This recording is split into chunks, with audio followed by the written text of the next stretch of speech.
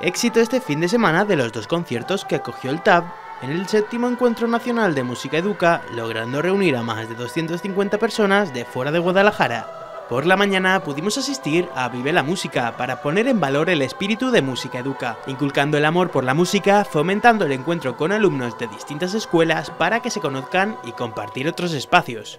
En total, 159 alumnos en el coro formaron equipo junto con una orquesta de 87 músicos que encandiló al público asistente.